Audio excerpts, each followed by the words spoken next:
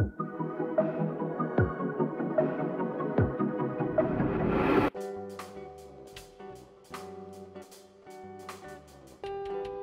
today we're going to be learning how to edit a photo in Lightroom Mobile.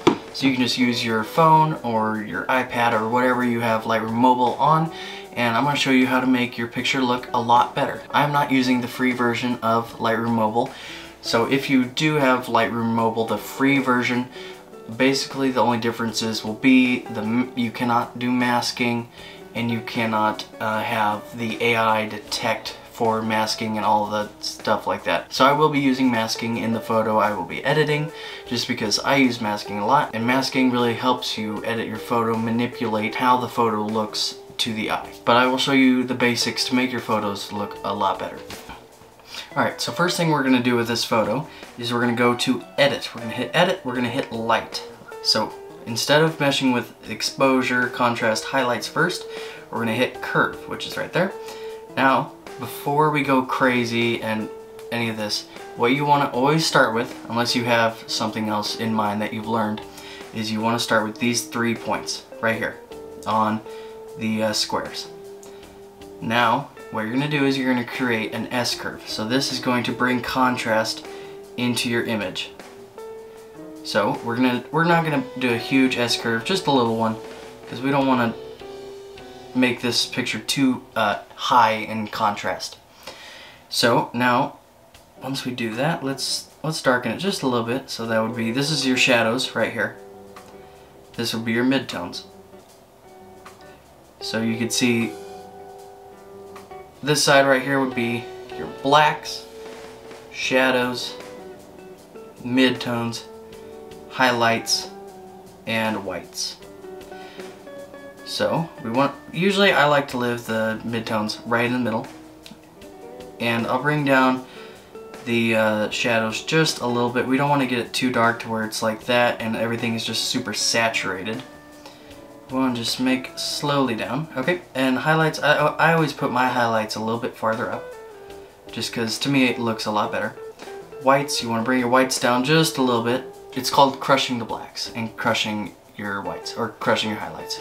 So we're just going to crush those just a tiny bit. We don't want to go crazy where it looks like that because that is no bueno. So just up the tiniest bit, which that looks pretty good to me.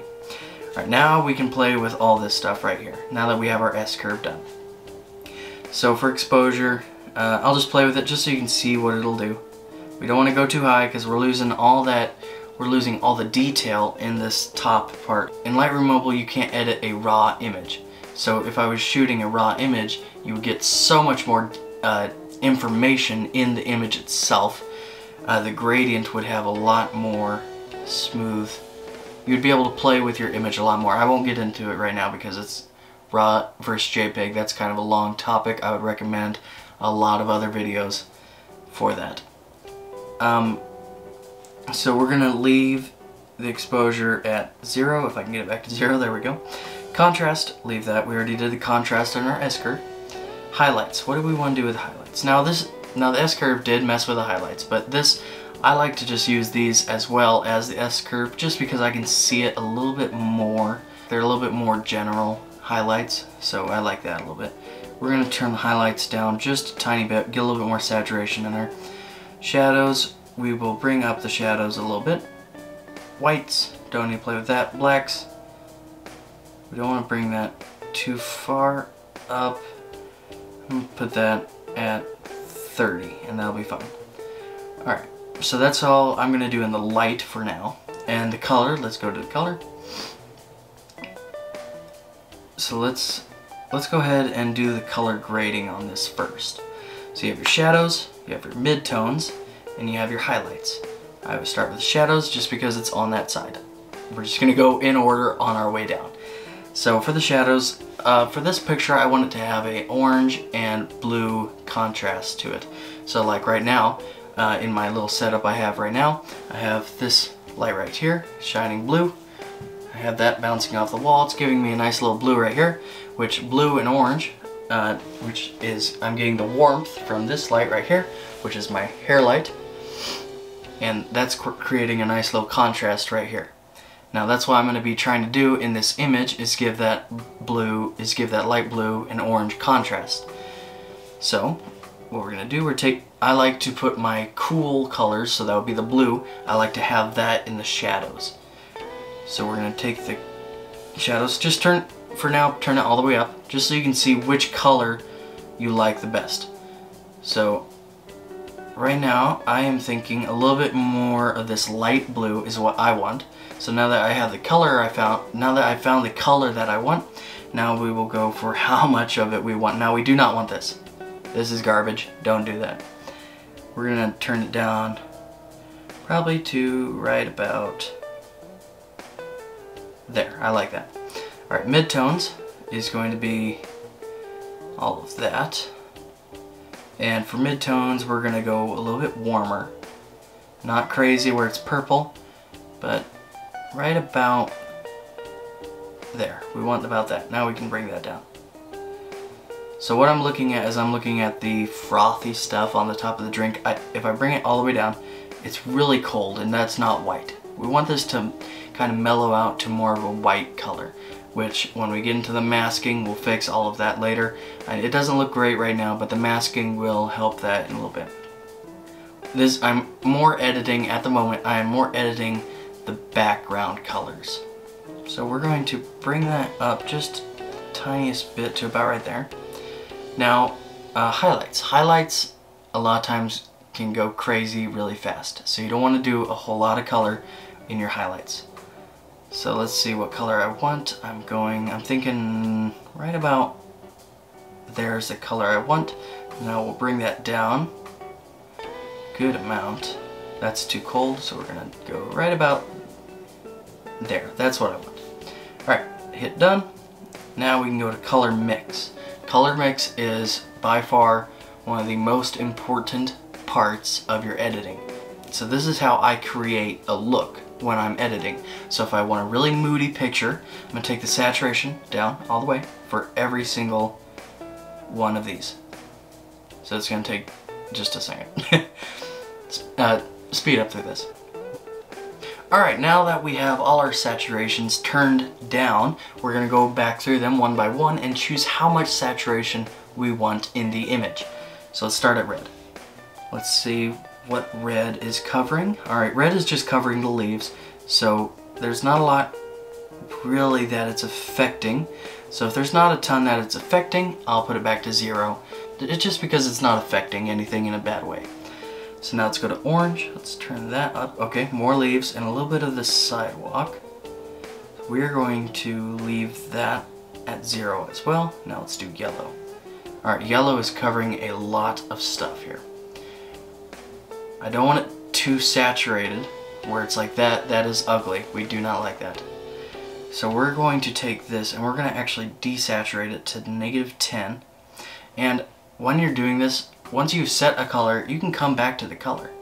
You don't have to set it, oh, I already did it like this, I'll just leave it. Don't do that because then your image is going to slowly, it's not going to be what you want it to be when you're done. So let's go to the red. The red I left at zero, but I'm not really liking that right now. So we're actually going to put that to negative 10. And the orange we're also going to put to negative 10 in your saturation. Alright, that looks a little that looks a little bit better. Now let's go to green. Green is gonna I'm pretty sure green green's gonna have a good amount here. Alright, so green right here is not doing a whole lot, but it is complementing the yellow. Because the yellow and green they're they're mixed in the background. The trees are yellow and green. So we're going to actually, it's not affecting a whole lot actually. That's all the way, that's desaturated. I think we're going to put that at zero. Zero is fine for me. Alright, now the blues. Light blue. What is light blue touching? A lot of times, light blue is not touching a whole lot of stuff, which is surprising to me. Alright, let's turn the saturate. Okay, blue is touching a whole lot here. So what we're gonna do, we don't want, I love how the sky looks right now, but I hate how the concrete looks. So that might be a little bit of a problem, for me at least. I'm not really liking that so much, so we're gonna desaturate that to about 20. That looks pretty good. Now the purple, when you're when you're doing pur purple and pink, a lot of times you're going to finish your image. At least for me, I've finished a lot of images. I've gone back through and looked at it. I've zoomed in a lot. And the pink and purple is just outlining things that have been exposed to, have been way overexposed. A little bit of halation. We don't, I don't like that. I do not like that at all. So we're going to turn, let's turn all the way up and just see what it says. See? See what I mean? Alright, let's zoom in right here. We don't like that. So let's go ahead and put that at zero. We still don't like that. So we're gonna put that at negative 40. Let's zoom back up. Alright, so my hand is really dark and that's okay. So we can't get a lot of color right now back into the image. Alright, so let's just go to pink. Let's saturate that again. Alright, there's my, there's the flesh color coming. So my hand is going to be mostly of this pink color. Ah, there are flies everywhere. What is up with the flies? So we don't want too much. We want it to complement the purple. So you can see when I turn it up all the way, we're now missing that purple part where I had. So we're going to leave that at zero. We're gonna go back to purple. We're gonna turn it we're gonna turn it up a little bit, just so our fingers are starting to look a little bit more normal. Right, we're gonna leave it at zero. I'm fine with that. Take the hue, and we're gonna move it this way just a little bit. We're gonna do the exact same thing over here. Make it a little bit more red, a little bit more flesh color. All right, let's zoom back out. See how that looks. Okay, I don't like that. We're gonna put it back down. There we go. All right, that looks good. So let's go back to the blue. We're gonna change the hue to make it not fully green like that, but we are gonna give it just a little bit more of that. Uh, I like to think of it as kind of that California color. I don't know why. California just comes to my mind when I think of that color, that light bluish green color. So let's get just a tiny bit more in there. Let's go to 20, 22. That's fine with me. Alright. So that's pretty good. That's not going to do anything right there because it's not touching anything. But We're going to turn the temperature up just the... Actually, we're going to leave it. We're to leave the temperature right now because I have an idea for that. Come down here, take the tint. Let's just put it all the way to the right, all the way to the left, see what we're dealing with here. Alright, it's a little bit green. A little bit too green for me. So what we're to do, we're to move that. You know, that's fine. I like that. Alright, saturation. Turn up the saturation. That's no bueno. We don't like that. We're actually to turn down saturation to 10 and so we went through the color mix and we did the saturations already but that was individual colors so when it comes to this saturation that is the global color that's everything being affected at once so we're to put that at 10. Negative 10 looks good to me. Alright, here's the part I'm pretty sure you can't do in the free version, but I'm going to show you anyway, just so you can see what how I would edit this image. So we're to go to blur. I believe blur is not in the free version. Uh, correct me if I'm wrong. It's been I haven't had I haven't had the free version for a while, so a lot of these new features I don't know if they're free or not. So let's turn the blur up all the way just to see what it'll affect. Alright, that's terrible. Alright, that, that, that's pretty bad. I don't like that. So we're to move this down just a little bit now. When I'm shooting on my camera with my detachable lenses, um, I can have my aperture open to like 1.2 and that's going to give me this blurry background. But because I shot this photo on my phone, the phone is not going to have as much bokeh, uh, bokeh is your blur in the background, as I would like. So that's why we're using this fake blur. It is detecting what would what is in focus and it is defocusing what is not supposed to be in focus.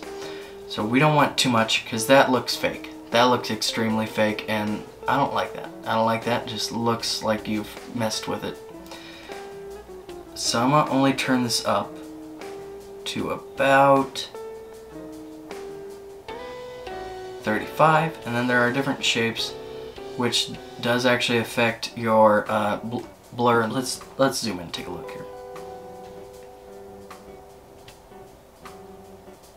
Alright, it's not making a difference right now. We don't have a lot of blur on so can't really see it. But that's okay. So we'll just leave it as a circle. Check our focus. Um, we're actually going to use this thing. Okay, it's right in the middle. I like that. Apply. It's redefining. I don't know. Refining. Okay, that looks good. So let's now let's go to masking. Create new mask. Select subject. Now our subject, which is the coffee, has looked dark this whole time because this is what I was planning to do. We're going to turn up the exposure now, just ever so slightly. Just to make it pop a little bit more out of the background, as if we had this light right here. The goal is not how we made the image look good. The goal is to make the image look good. So always remember that. A lot of people are against the AI in your photo editing and against changing the colors too much. Just take it and that's how it is. That's fine. And the other way is fine as well because the pro we're trying to make a product. We're trying to make the image look good. Alright, so what we're going to do now, we're going to take those shadow, let's just play with the shadows for just a second we want to bring those up a little bit just because my hand looks extremely dirty right now just because it's so dark right there so we're going to turn the shadows up just a little bit we don't want to turn it up crazy high because then you'll see that there is no detail there is no information in my hand so the colors won't be there it's just to be gray it's to be desaturated because there's no information there so what we're to do we're actually to bring the shadows up just the, just a tiny bit we don't want we don't want too much. Alright, let's go to color. We're gonna take the temperature and we're gonna slide it up about to about 20. 20 looks good to me. Now, just looking at it, it's pretty green. We don't we don't want that. We want it to be balanced. We don't want it too purple, we don't want it too green. So we want to balance it. And balance does not mean it's zero. Balanced means a balanced color. You have to balance your green and your purple. Alright, so that looks pretty good right there. Saturation. Nope. Nope. Alright, we're going to turn it up just a little bit, just because we're losing some saturation in my arm and it's just looking gray. Alright, now let's go to effects. We're not going to do anything with effects for now. We're actually going to go back to edit and we're going to go to effects in this place. Now what we want is dehaze, Cl texture, clarity, and dehaze. If I was doing sports photography, I would probably put the clarity up just a little bit, but not too much. Clarity can go crazy sometimes, and we don't we don't want that. So we're actually going to turn it down, just to give it a little bit more fuzzy of a look. Texture, we're going to turn that up to about 15 dehaze um, we're going to leave dehaze at zero for now and we're going to use dehaze in our masking later. So let's go back to masking. We're going to add a linear gradient. Click that. Drag. That's going to create a mask. And we're going to cover up my arm. We don't want the arm there that much. So, alright, can anybody, can you guess what I'm doing right now? Why I have my mask at this angle? Is because we are trying to create leading lines to our image. Looking in the background here, you can see that the sidewalk has a line going straight through the middle of my cup. And then we can look and we can see here we have the white lines for the parking that is leading to the cup as well. And what's nice about that is because the white lines actually stop at the sidewalk, so it kind of stops right in the middle, and that's what we're going for. So what we're going to do is we're going to take our light and we're going to turn the exposure down just to about right there, that looks good to me. And when you turn exposure down, a lot of times it's going to bring more saturation into your image. So now, that looks good. Hit the OK, go to masking, add new mask. We're going to do another linear gradient, and we're going to bring it down from this side. Right there. That's okay with me. Light, same thing, turn the exposure down. Not not too, not too much. We want it to be balanced. Again, we don't want it off balanced. So this is looking pretty good right now. So we're gonna add another mask, linear as well. Go like this, Do about right there. Go to light, exposure, and we're gonna take it down to about right there. Now I think I have overdid the uh, exposure on this mask right here, so we're actually gonna bring that back up just the tiny, tiniest bit to about right there. Now we have one more mask before I believe we are done with this image and that is going to be a, a radial gradient. We're to make that right there. Zoom out, move it to about here, stretch that, turn that, so that way it's like a ray. We're to stick it about right there. Now we can zoom back into our image. We're going to hit effects and we're going to hit dehaze. And we're going to turn dehaze down. Just, just a little bit. To about right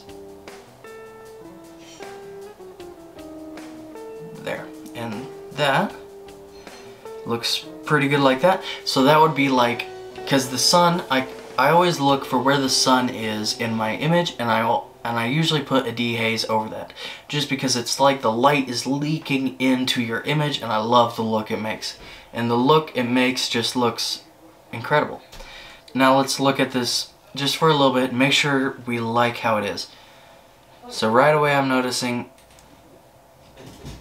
that this mask we made it's a little bit too dark for me so I'm gonna go shadows and we're gonna turn the shadows up just a little bit more 40 looks good now, when you're editing, you do not want to overdo it. You don't want to overthink.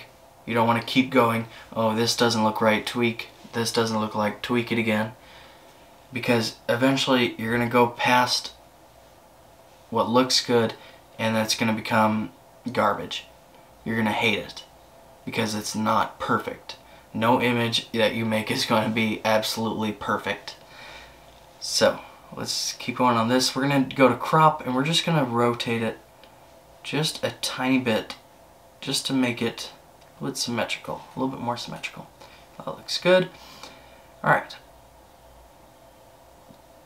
When I edit, I, I've never been a fan of too much saturation in my images, so I'm going to turn the saturation globally down just, just a tiny bit. To about right there. Now come back to the light we're going to mess with the exposure as our final thing. And that right there looks good to me. One of my lights just died. See, I lost that contrast on my face. Look at that. My light, I had the blue going in the background. It just died. Fix that. One, two. There. Now I'm super orange right here. I hate that. Alright, whatever. So here's our original image. That's our edited version. Quite the leap. We made it look... We made it our own.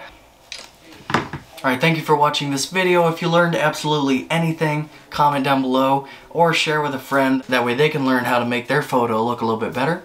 And uh, until next time, yeah. Until next time. See you guys.